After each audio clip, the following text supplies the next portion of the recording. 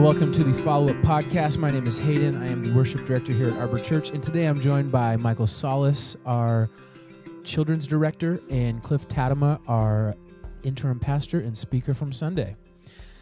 All right, so I feel like I've been saying this every week. We're in changes, the series, and also literally in changes as a church.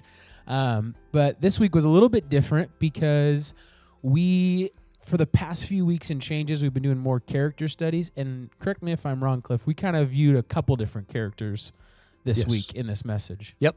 Yeah. So Yeah. could you just remind me and the audience what was the uh, what was a few of the names that we talked about on Uh, we talked about Abraham. We talked about Noah. We talked about Joseph. Uh, we talked about um, Samson. And then we talked about some of the New Testament, uh, just verses. yeah. So we focused on Old Testament characters, but then Right. kind of contextualized with the New Testament. Um, this is, I feel like I've said this many times on the podcast, but this was one of the messages that you had talked about beforehand, right? Right. That you wanted to to share with us, um, which is funny because uh, you'll be with us for another six weeks. Is that right? Yeah. uh, Six or eight. Yeah. So now we're hearing all these messages that you've been putting in your back pocket of one day. He's been holding back. Yeah. so this next six weeks, it's only going to be the hits. Yeah, no, right. no filler, just straight hits. you know what's funny about that is uh, the idea for this, and I actually taught a message similar to it, but when I started getting into it and really looking at it, it quite evolved. And I think by the time I was done, I thought, well, um, it would have been nice to have done one I've done before, and I could have just done it again instead of redoing one completely. Yeah. I put as much time into it as if it was brand new, but Yeah. it's all good. It's all good. Um. So obviously, this message was developed a little bit differently because it's something that you've been working on. Um, was there any work in the manuscript that you had to do? Because obviously, I don't know if this was a standalone message originally when you were planning it, or if it was always going to be part of this series. Was there any sort of work to kind of bridge where it started at to um, it working in the changes series? Yeah, uh, yeah, there was. I don't, um, I don't actually recall if it was uh, a standalone or what. Uh, w- the what I taught before on it. I think I've I was captured originally by just those two words, but God, and that God intervened so significantly. And so I kind of taught a message on that that that had been I think quite some time back. And as we were thinking about changes, then I thought of the fact that how every time we read that there is a significant change taking place every Mhm. time you read about it in the Bible. And so, um, so that th- I thought that would be a really neat one to add to changes. And so I Yeah. threw it kind of in the hopper as we were looking at different people and all that. But when I actually began to go through it, um, I saw, yeah, it needed quite a bit of adapting from where the original concept was to Yeah. to where we wound up with it on Sunday. Mhm. Yeah. Yeah. Yeah. and you um you had quite a few verses, right, that was that fit that mold that you were looking for of but God. Um can you again if if I'm a listener who hasn't listened to the message, I would question why I'm even listening to the podcast. But for the people who might not have heard the message, um, True story. what's the story behind these verses where we see the words but God and then Yeah. so I, I think and that's where um, I think as we were thinking of changes, and then and that's what got my got me thinking about you know the fact that as you read through the Bible, I think those are two words that are um, they're not may not be the two most important words, but when you Yeah. put them together like that, man, they are hugely important, and they're so important for anybody who has a walk with the Lord. Yeah. But God. So, in when when they show up in the Bible, uh, particularly, well, actually, all the way through, God needed to intervene, yeah. and so the but God is this is what was happening, Mm-hmm. but God then came, and then here is what happened thereafter. And so that applied to Noah, it applied to Abraham, it applied to Jacob, it applied to Joseph, uh, it applied to Samson, it applies to Cliff and to Michael. Mm-hmm. Um, when we see God, and that's what that's why I think the theme thing that that we kept running back to was, but God changes our circumstances for our good and His glory. Mm-hmm. And he does that. And he does it thinking about it from uh, not just a temporal perspective, but even from an eternal perspective, I think even more importantly. Yeah. You know, I, I just want to do a quick plug for the prayer team right now as we're talking about this, because this is a common thing I, I believe I hear from folks on the prayer team. The prayer team, for those who are listening on the podcast, is such an amazing and so needed group of people in our community. Yeah. Um, you know, whatever's coming our way, you know, if it's cancer, but God, Yep. let's pray. If it's a divorce, but God, let's Yeah. pray. If there's a, a a problem at home, if there's an issue, if there's a thing, it's financial. Uh, the prayer team, but God, we're gonna pray right now, Yeah. and it is so cool to see. It's like you know what? None of it is above God, so we're Right. gonna pray. So, Mhm. but God, that stamp it really makes sense to me when it when especially when we're talking about the prayer team. Yep. Yeah, Mm. that's really good, Michael. And it's Yeah. true. And and uh, man, if somebody wants to grow their faith, that's a great place to become involved. You know. Yeah. Yeah. Um, I'm I'm curious what your thoughts are, Michael and Cliff. Um, with these scriptures that you referenced on Sunday, we saw um, all of all of the characters had to first either go through or notice something is broken or disconnected in my life, right? And then we see in the scripture but God dot dot dot right does this changes this maybe changes their perspective. Um, do you think that is maybe from our human perspective the way things usually play out, or do you think that is the preferred method that God would have for us that we would go through and see our brokenness before He can change it? Because you know, me thinking externally on these characters. God could have changed them and then shown them after the fact, right? But I'm Yeah. curious, is that more for our own good inevitably that we need to see the brokenness before the change can happen? Do you want to answer that? Okay, I, I mean, I, I, I- okay. So I'm the the resident children's minister. Yeah. Uh, Yeah. I, I often think about these things through the eyes and ears of children. Right. Mm-hmm. Um, I could go around and fix all the things in front of my kids eh, so that they don't stumble, they don't hurt themselves. Mm-hmm. But I oftentimes, especially the older they get, I sit back and go, you know what? I'm gonna, I'm going to let them figure Yeah. this one out. Mhm. And if they don't get it, I'm there for them. Yeah. You know, Yeah. I'm not going to make them fall too far. Mhm. And as it relates to us, especially, I'm just going to own this one. When God does that kind of stuff, it brings me back to, and I think this applies to all of Scripture, the heroes in our Scripture, the, the Mhm. stories.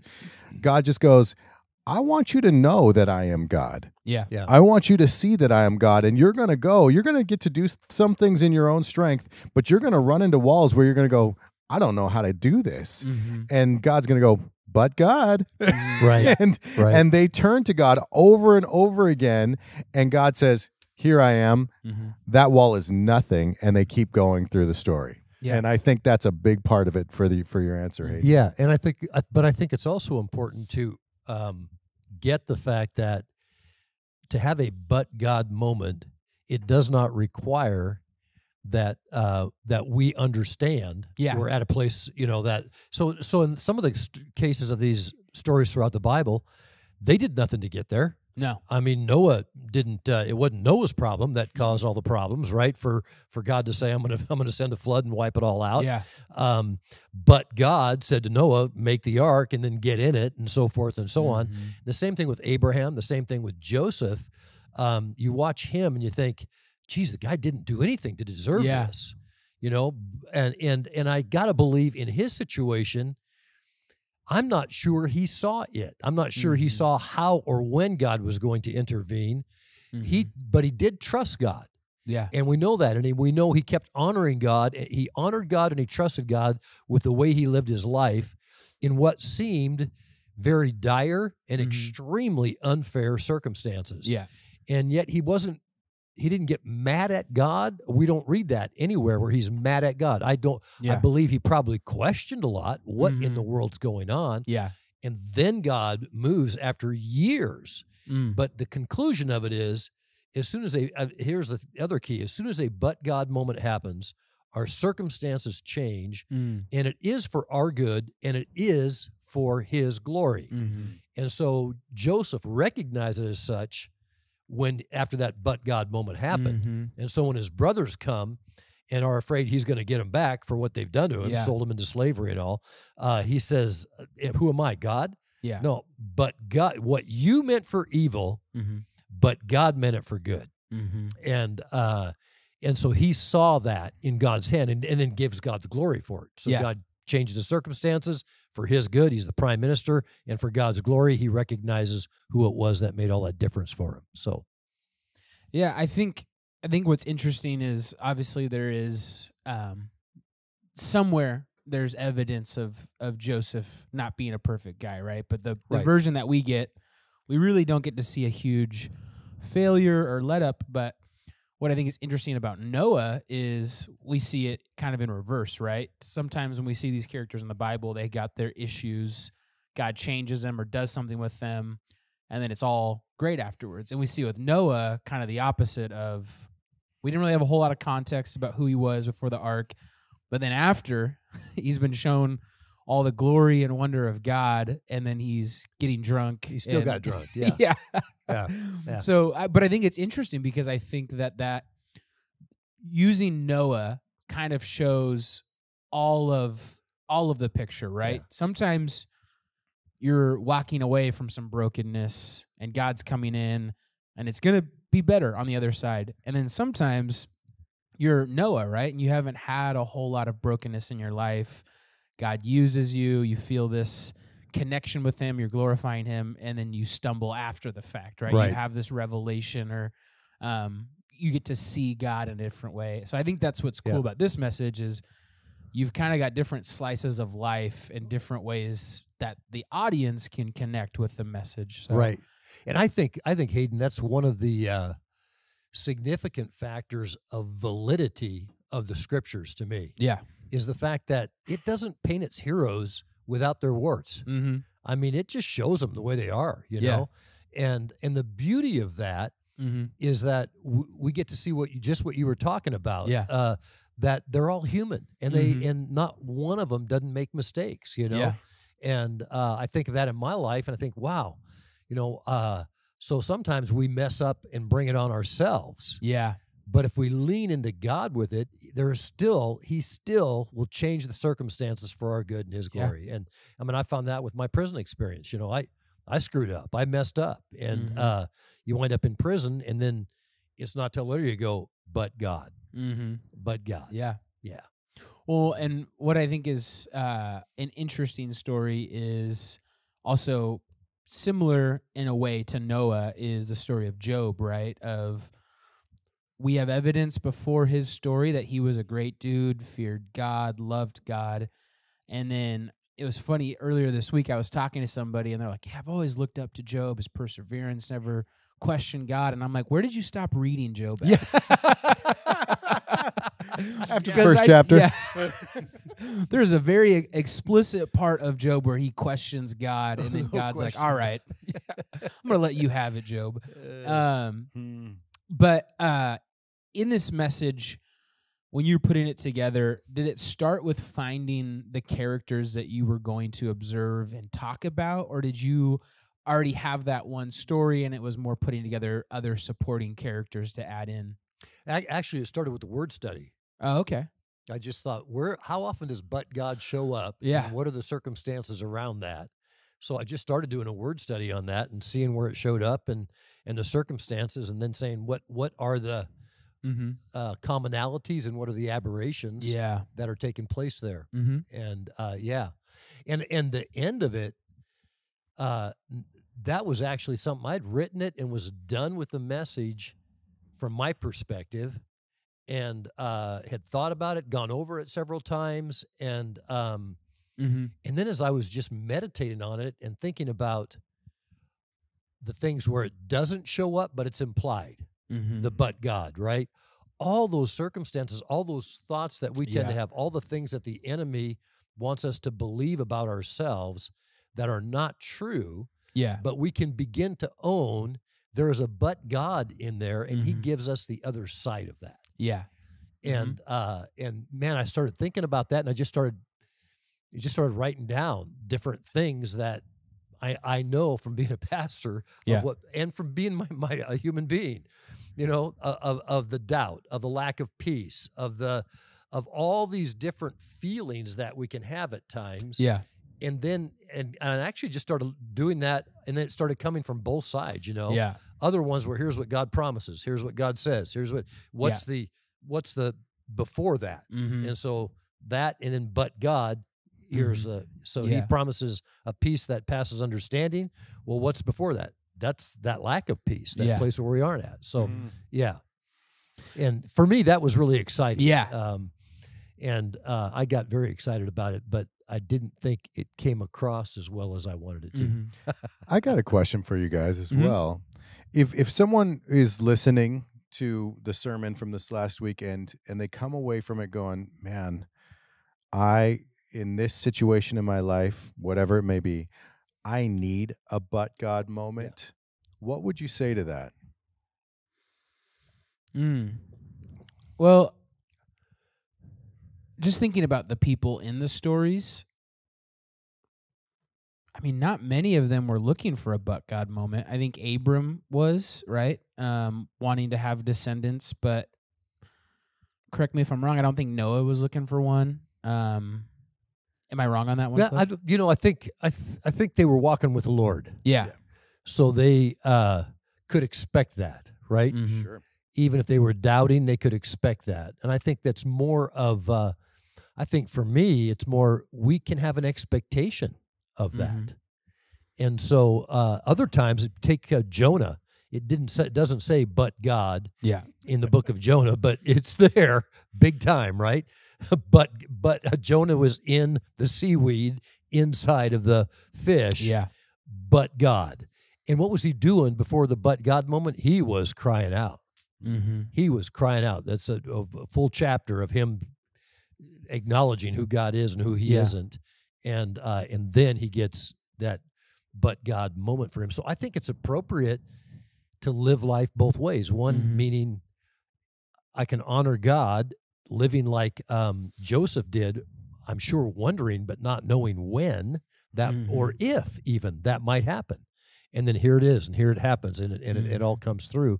And then the other side of that being like Jonah crying out for that. And I think it's appropriate as believers for us to be in both of those places. Well, go ahead. Oh, I was to say, I love that you gave that example of Jonah because what a messy but God, right? Oh man. Oh man. What a gross experience Oh, to have yeah. to go through to get to your but God. Yeah. Uh, but I think that's very, um, I think it's very appropriate when we're talking about some of these things that we're looking for a but God moment. Sometimes it could get messy till you get to that but God. Yeah. I, I think what's so funny about Jonah is my sheer lack of understanding of that story. Because, um, I mean, I feel like I heard that story every year in children's church when I was a kid, and it was always just, you know, it had to do with faith. It had to do with you know following God, and it was really just focused on ship, whale, back on land. And then I get to Bible college and I read it and I'm like, what is going on with Jonah and this plant? And like he hates Nineveh. Like, what is going I don't understand this story. But um, one of the things I was gonna say to your question, Michael, was I think when you read the Old Testament from either a young Christian perspective or just for the first time, it's really easy to identify the God of the Old Testament as this transactional God of like, Mm. this person came to God, God did this for them, life's good, right? And or they ask God for this or God blesses them and it's really just this because I don't think we get as much context as we might like in the Old Testament of these people's lives of life was going this direction, God comes in, life is completely changed in an opposite direction. And what I like about Jesus in the New Testament is I think that he perfectly summarized what what the Old Testament God was trying to do with his people of no, follow me and I'm going to take care of the rest. You know, spoiler alert, it might not go as planned like the way that you thought it would go, but I think that the Old Testament sometimes we can look at it and want that transaction of I want that but God moment. You know, life isn't going well. And then Jesus and Paul and and all the New Testament teachers say like, yeah, that's a skewed way of looking at your relationship with God, right? And I don't think there's anything wrong with wanting a but God moment because sometimes life is hard and it's not going well, and you're like, God, could you help me out here? Right. And I think he's constantly reminding us, and he told us in the New Testament that he's not a genie in a lamp. You know, it's not come to me with your wishes and I'll see what I can do. It's follow me and I'm going to take care of you. You'll be in my hand. So, Yeah. but I like that question. It's, it's, uh, I think it's tough to be in the middle of something and not want that but God moment. Yeah. God's looking for uh, the deeper heart and Exact- relationship yeah. versus just I'm going to fix it so you can just keep going on. Yeah, and I don't you know, I'm I'm a 27-year-old man. I don't know God as well as I would like to, but um I think that's what God was wanting with some of those transactions in people's lives was please follow me, you know, like I will bless you, please follow me. And then he really got to see the heart of his creation of like, oh, my creation's a little selfish and greedy. yeah. Yeah. I thought that I could bless Uh. them and they would be like eternally grateful, but I think you got to learn quite a bit about humans. And I feel like we've kind of talked about this a little tiny bit in a totally different podcast, but when you think about any other relationship, if you will, when it comes to a deity out there, it's usually transactional, Yeah. right? Yeah. I Yeah. give you this sacrifice Yeah. for the rain Mhm. or for the whatever, the sun. Yeah. Uh, and Yeah. it's and and God's uh, approach is no, I'm after your heart. Yeah. Mhm. And I think, yes, that's exactly right. And I think I'm glad you brought that up, Hayden, because it's a little bit of a rabbit trail, but Yeah, I, think it it's. Yeah. I think it's worth going down Mhm. because um, what what you were talking about in in how you view the Bible, this is something that I think is is critically important. In fact, believers and unbelievers alike who miss this cannot see God for who He is Yes. Mm. we have to you have to decide when you're going to begin at Genesis or wherever you want to start reading the Bible through. You've got to decide is God truthful about who he is, his character.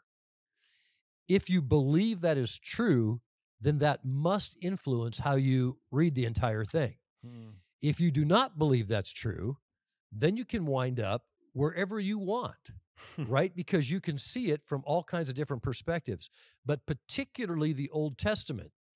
If you don't look at the Old Testament from what Mhm. God's character is, from what God says about who he is, then you can look at him at that as an boy, he seems like he's an angry God Yeah. boy, it seems like he's it seems like he is transaction orientated. It seems like he's a just mad at people. It seems like he's looking for a reason to.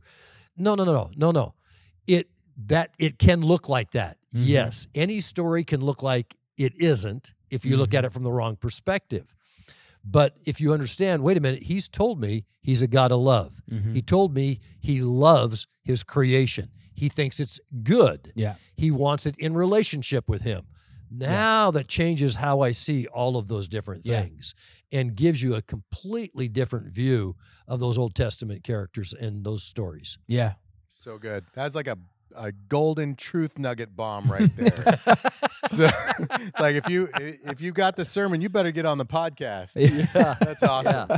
Yeah, that's that is that's a whole nother message, but it is well I'm glad you brought it up But- because Yeah. Eh, man, we can get sideways otherwise. because the the human struggle that has been in existence from creation is man wanting to be god and then realizing that they can't do it and they fall and then they have this huge need for a god and you would think that'd be it but it really is just a cycle and if you look at your own life you probably can see evidence of that as well of like Mhm. i can control every outcome i can do all these things and then sure enough you're reminded that you're human and then you right in that moment are like man i really do need a god and i have a god but once things go well i don't know if i need god anymore because i can control all the outcomes right And and that's exactly what you just said is Yeah. the cycle you see, right? In that Yeah. Old Testament again and again. And we look at it and go, and sometimes it's a it's a fairly short cycle. I mean, we have that happen in our own lives yeah in a very short compressed period of time. Mhm. Uh, we look at the Old Testament and we can see the nation of Israel having that. Sometimes it's as short as 40 years. Sometimes we're thinking, my gosh, they went off the rails again. What is wrong with them? And then when you stop and look at it, Yep. and you go, oh, that was 250 years. Then you stop and you go, well, how long has our country been around? Hmm. Oh, isn't that fascinating? And even on a personal level. Yeah. Oh, I've been Yeah. off the rails for the Much last quicker. week. Yep. Yeah, know? right. Yeah. Right. It's the washing machine relationship with God. Mhm. Yeah. well, and I remember learning about this in Bible college, but the theology of uh, Felix culpa, which is just Latin for fortunate fall, and it's exactly what that cycle is, right? It's it's a fortunate thing that we cannot be God because we get the blessing of God, right? And we get a God that isn't reminding us of how much we need him or saying you're so lucky to have us. He reminds us that he's God with grace, right? Over and over again. Yeah, I saw you for 40 plus years trying to be me and you couldn't do it. So then you needed me. And then once I blessed you, you wanted to be me again. And I think that's what's so cool about the Bible as well as you see like these characters who do go back and forth in this cycle and God's never like, "All right, I'm done.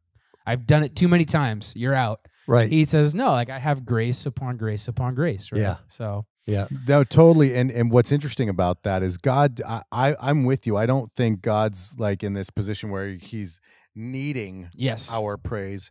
But I, I think a, a a very important piece to what you said though Mhm. is is who we are. Yeah. We were literally designed to praise Him. yeah, That's how we Yeah. function Mhm. best. Yeah. Yep. And when you've got that understanding, it's life changing. Yeah, I think that you know uh, brings up one of those things that that I, a- as I was concluding the message that in the last three days came to me was my sin is too great, mm-hmm. but God says Yeah. His grace is greater still, yeah, yeah. Yep. and that's kind of how those things come together. Yeah, So good. yeah. It's very good. Yeah. Um, well, we are approaching the 30 minute mark. So I would love to wrap things up unless you guys have anything else you want to chat about. I know we kind of indulged ourselves in the rabbit trails, but I think it was a good conversation. I think it was a good rabbit trail. think I'll tell you, we got just enough time, I think, Yeah. for a uh, shout out to next week because Allison's going to be talking about Ruth Yep. uh, and changes. Yep. And man, talk about a but God thing there, right? Yeah. Yep. I mean, she gets married to and and loses her husband and but God, and it's just a great story. So, Mhm. So uh, good. I think I'll have a chance to just And I think that'd be a really good follow up for the question I had, where you're going, "What about what if I'm in a place where I'm looking for a but God moment? Come Yes. find, come, come hear about Ruth. right, Yeah. yeah, come hear about Ruth because Naomi, she, I mean, right, she was so down on herself for that. Yeah. She calls herself, "Don't call me Naomi. I'm I'm now bitter. I'm just so bitter for the whole thing, you know." Yeah. Yep, And uh, yeah, so it's a good comparison. It's a great comparison Yes, about then so how good. God shows up. And in her case, we don't even see her asking him. Yeah. And uh, that relates to what Hayden was talking about. He, Mm-hmm. She didn't even, we don't hear her saying, God, you've got to change my circumstances. Mm-hmm. I, I moved to this country. My husband dies. Both my sons die. And, uh, and now I'm going to try, try and go back just because out of desperation, kind of.